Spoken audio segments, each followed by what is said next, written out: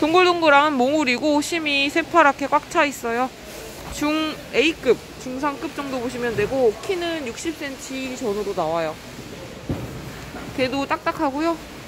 꽃도 쓸만하고 선별은 약간 들쑥날쑥해요.